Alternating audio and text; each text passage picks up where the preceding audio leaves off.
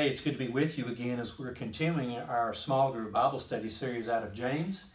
James 5, we're going to be moving forward through verses 9, 10, 11, and 12. Uh, kind of forms what appears to be a very appropriate, very logical, certainly spiritual uh, continuation of where we were before. We, we talked uh, uh, last time about uh, farming the patient process of farming. We talked about precious produce, and we talked about what the Lord desires to do in and inside and in and out of our lives as Christian. You know, His desire uh, for us is to grow more into the likeness of His precious Son. And, and as we've said, even more important than anything that we'll do or accomplish uh, for the name and sake of Jesus Christ, it's us that God desires more than anything.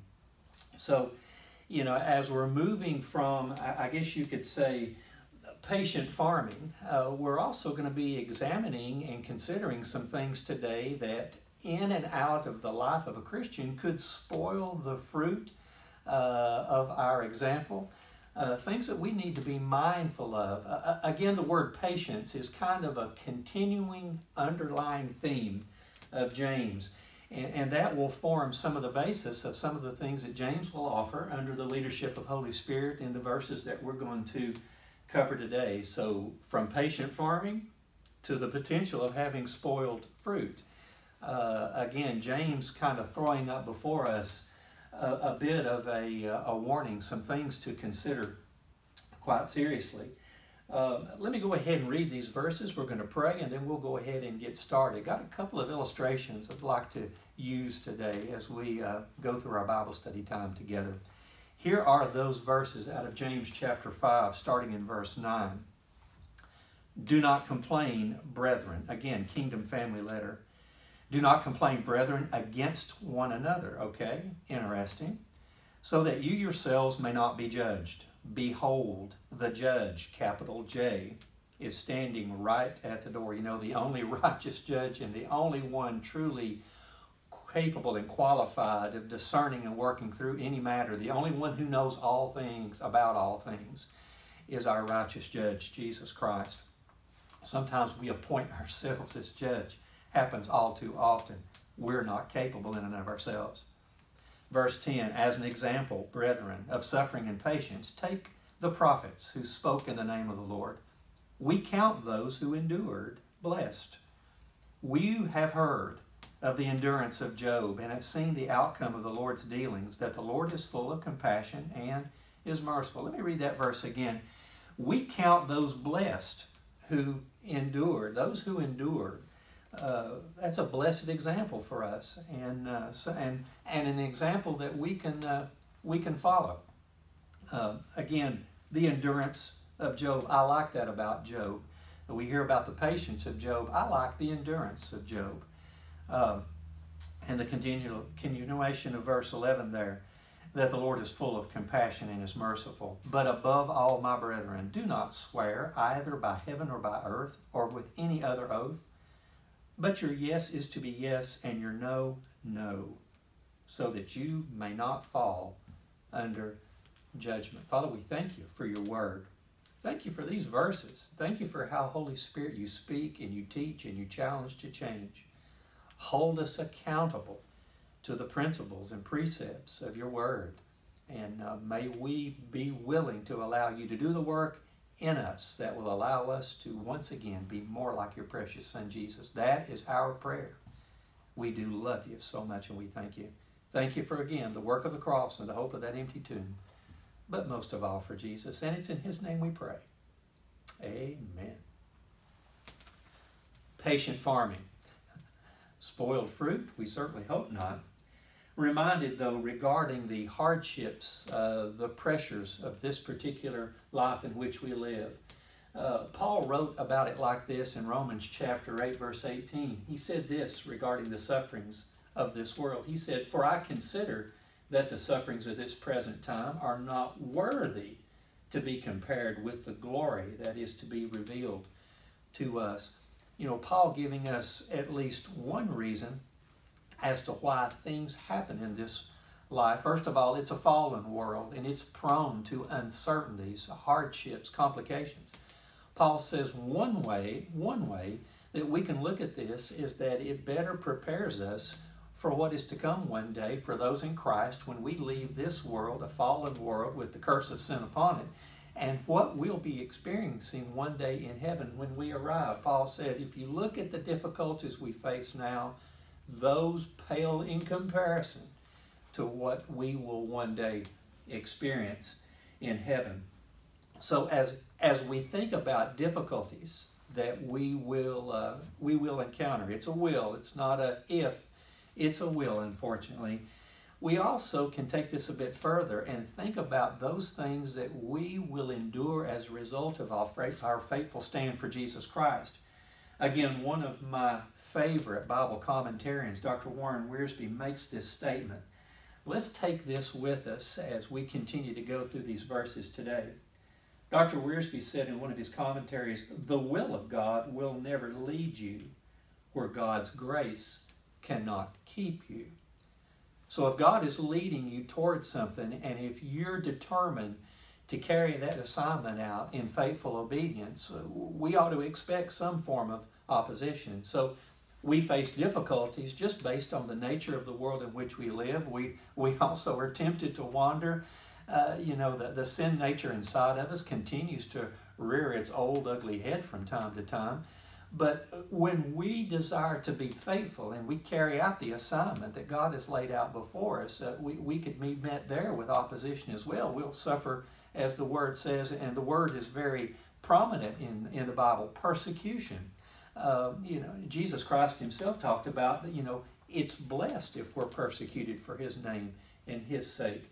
So you know, when we're thinking and evaluating difficulties that we'll face, Dr. Wiersbe said, listen, if God's will is leading you toward an assignment that uh, He desires for you to carry out for Him, He'll never lead you to a place where His grace won't keep you and provide for you and enable you to be seen through. So, difficulties come in different forms.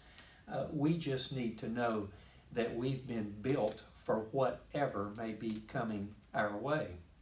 So, I, am reminded this this is a picture that I, keep in my office on the wall. I'm a collector of a lot of things. Um, when I look at this particular picture, I, I see a lot of things here. Uh, this was taken after Hurricane Michael came on board the panhandle of Florida. Michael came on land in that panhandle area uh, in early mid October of 2018. It was a Category 4 hurricane in that particular area of the Gulf of Mexico on the Gulf side. We, we hadn't seen anything quite like this. Now, on the Atlantic side, these can unfortunately take place. This had wind speeds, Michael did, of uh, at one minute's time of uh, sustained at 160 miles per hour. What you see here is just devastation everywhere. Uh, and when you take note of this, I mean, my goodness, uh, uh, the overwhelming majority of what's there has just been leveled and scattered all over creation. Except we've got one house down here toward the bottom of that photograph and one on the other side of that that reap the benefit of the strength of this particular house. Uh, you'll see that white house there. Um, and, and my goodness gracious, the roof is intact, the structure is intact. And this is a fascinating photograph, and I think it's quite popular. It's been seen by many people. Uh, this house was owned by Russell King and his nephew, Dr. Lebron Lackey. They are from Cleveland, Tennessee. They had security cameras on the side of this house, and they said when Michael came on land, on shore, there at Mexico Beach, Florida, he said that house was shaking like the wing of an airplane. Uh, and uh, but why is it left standing? That's the question that a lot of folks would ask when they looked at this picture. Why this house and why none of those around it? Well, it's how that house was was built. Uh, I understand that if you build a house on the Atlantic Ocean side, you're you're going to have to uh, come up to a, a code that would allow that house to withstand wind speeds of up to 175 miles an hour. If you build on the panhandle side, the code actually is up to anywhere from 120 to 150. This house was actually built to withstand wind speeds of up to 250 miles an hour. Uh, the question that came up to them about this house was, was, you know, was why, and they wanted to build a house that would withstand what they referred to as the big one. The, the quote was this We wanted to build it for the big one. We just never knew that we'd found the big one so fast Hurricane Michael. But when I think about the big one, and that could come in any number of ways in our lives, whatever that big one or whatever those ones may be, however intense they may appear to be, with Holy Spirit residing inside of us as God's children, we've been built for whatever it is. This is a reminder to me of the strength of God inside of us, that even though this world is uncertain, even though things can come in waves that seem to be more intense the next one than the one before, we have someone inside of us who has overcome this world. What is it that the Word tells us? Greater is He that is within us than He that is within this world. What a great promise. What a great promise. So, knowing that, we proceed through the Scripture. And, and James writes for us here in verse 9 of chapter 5. He says, Don't complain, brethren, against one another, so that you yourselves may be not judged. Behold, the judge is standing right at the door. How tempted are we at times to allow others a rite of passage in our life in such a way that our emotions start to well up within us and we start to lose self control? Uh, I had my mother uh, at a doctor's appointment here just very recently, was sitting in a waiting area while she had been taken for an x ray. A lady who was sitting over a few feet from me looked over and happened to take note of some of the things that I shared with the receptionist when we entered into the office area there. And one of those things had to be symptoms regarding COVID. Had I experienced this or that? And we kind of went down that screening questionnaire. And then I just happened to make mention out of my mouth of my own volition that my mom and I both were a few weeks past our second vaccination. We've been fully vaccinated and we're a few weeks past that.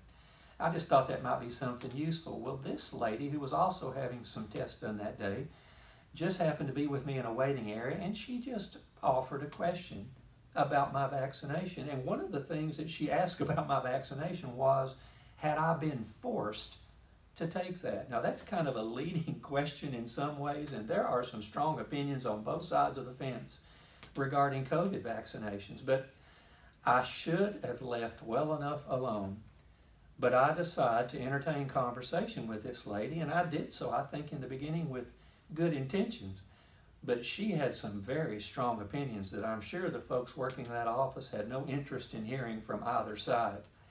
And as we began to talk further, I began to get a little worked up inside, as if to say, with the tone of my voice, ma'am, I know what I'm talking about here, and you could be misinformed. Now, that's a dangerous place to go. And, and listen, in and of ourselves, there's some sort of entitlement about uh, where we stand and what we know, and our demand to be right in the midst of a conversation.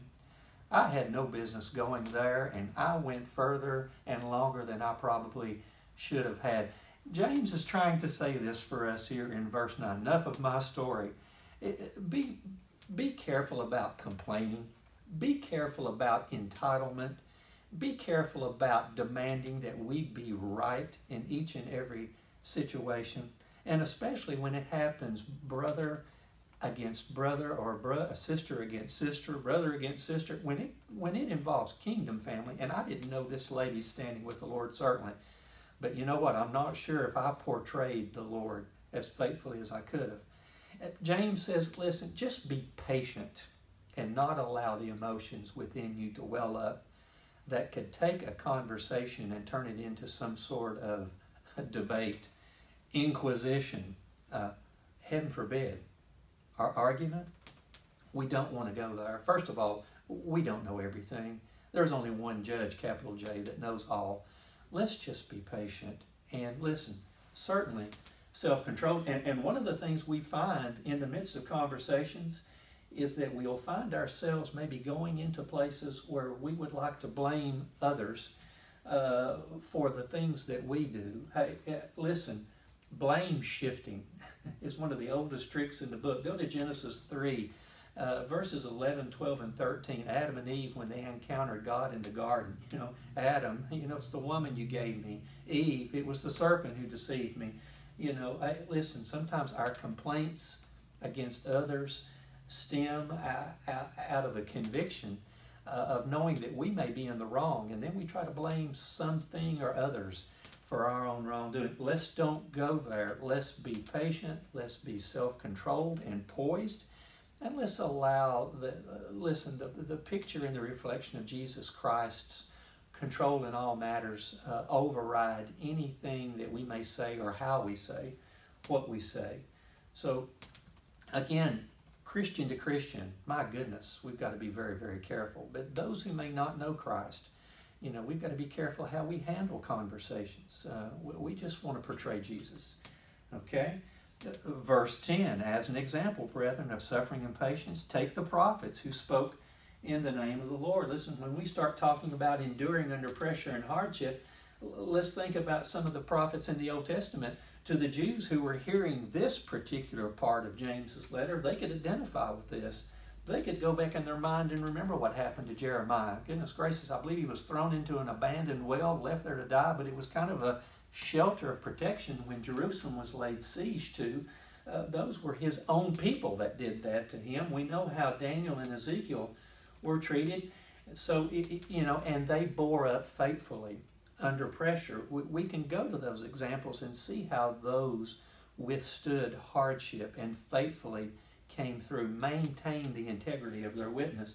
You know, Jesus again in Matthew 5 talked about, you know, what a blessed position it is in, it is for us to be in when we're persecuted for his name and for his sake. So uh, again, those models. And then James goes further on here, you know, we count those who've endured. You've heard the example of, of Job. And, and again, you know, that phrase of comparison or analogy that people make over the years, you know, well, you know, the patience of Job. Yes, I guess, you know, that, that certainly can apply, but it's the endurance of Job that I admire and how he was able to come through. I, I love what is said in Job, chapter 23, verse 10 here. Job's part of Job's third reply to Eliphaz here, and he says this in verse 10 of chapter 23 But God, but He, but He knows the way I take, and when He, God, has tried me, I shall come forth as gold. Job was able to maintain that spiritual center. He knew that through hardship he would come through uh, in, in a way that was pleasing to God. So, you know, we, we've heard of that. We've seen the outcome, James says, of the Lord's dealings. And to the Lord, what is full of compassion and is merciful. He'll provide all that we need to be seen through. And then in verse 12 there, he comes back to this, and I, I like this verse. But above all, my brethren, don't swear either by heaven or by earth or with any other oath. Your yes is to be yes and your no, no. How many times have we encountered people who always seem to have to preface everything they say with, now I swear this is true, uh, or, you know, or I swear this, or listen, I, I, I swear it's the truth. Uh, you know, or, or, make some sort of a promise on top of that, you know, as a way of validating what they say. If a person has to do that to uh, lend to their credibility and integrity, they must have a problem with it to begin with. Christians should not have to swear or provide oaths with anything. Your word should be good. Say your yes to be yes and your no, no. I like that. Again, the, the, some of the clear cut things that James says under the leading of Holy Spirit just get right to the heart of the matter. And we can look and see what can happen in the lives of some of the stoutest people of faith that we know in the Bible based on their impatience. Moses, Abraham, Peter, to be examples, great men of faith but those whom under pressure uh, made some decisions that they wished that they hadn't. So uh, again, looking at James 12 and thinking about that, listen, our integrity, our character, uh, will authenticate those things that the Lord may place on our heart to say to others. Uh, let's don't allow the example of our life, the rule of our life, to require us to think that we've got to validate everything we say by the oaths that we make. So, uh, as we're coming down home stretch here, I've got a couple of things I'd like for you to consider, maybe in discussion. Uh, first of all, listen, we're not going to be able to grow and develop without hardship. That's a hard word, and a young Christian might not understand that completely. Our faithful example under pressure can go a long way to validate anything that we might uh, might want to say on Christ's behalf. But in and of ourselves, we're just not going to be willing to put in the effort and the discipline and the time to grow closer to God and to be formed more into the likeness of Christ. It's going to probably come through hardships and difficulties. And and also, you know, when, when we encounter people who just seem to be leading us, uh, pushing those buttons, so to speak, uh, in order that they can get a rise out of us emotionally, uh, listen, knowing that the strength of Christ, Holy Spirit lives inside of us, let's just not be willing to give others too much rite of passage, too much authority in our life that would enable us in some way, shape, or form to lose our cool. Uh, we don't have to go there. So here's some questions, then we'll close. How quickly are you to allow things to, uh, well, I'll say this.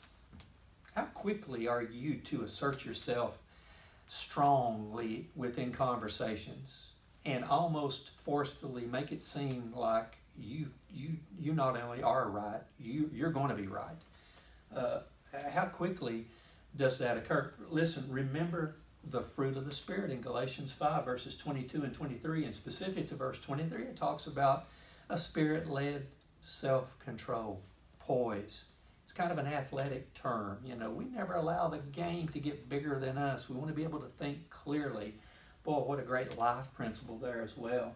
Uh, let's also ask ourselves, you know, what are some of those buttons that our adversary likes to push that would lead us toward uh, uh, losing our cool, losing our poise? What are some of those areas that our common enemy likes to exploit? Uh, he knows your history. He knows where to go. He knows those places where you can be pricked. Let's don't allow him any rite of passage. Uh, listen, we've heard it before. Uh, uh, the enemy can, if he can establish a, a, a foothold, he can create a stronghold. And, and think about your spiritual life and where you are right now, today, when you watch this video. Can you look back, let's say 30 days, let's go back three months, six months, a year, and can you sense that you're further along spiritually now than you were then? I hope you can. I hope you can. And part of, the, well, an important part of our growth process will be our willingness to yield uh, to the Holy Spirit's leading and to not allow the things of this world or the people of this world to uh, move us into places where our Christian witness could be compromised. We just don't have to go there. But, uh, you know, whether it's a being provoked by someone or something, or whether it's just the hardships of life, the sufferings of this present world, and uh, that we can't help. Uh, we just want to be faithful in stewarding the name of Jesus Christ along the way. Let's allow His strength in and through us to be the rule of our life. Listen, it's not going to be perfect, but we just want to be consistent and faithful along the way, and God will be our ever present help. God bless you. See you next time.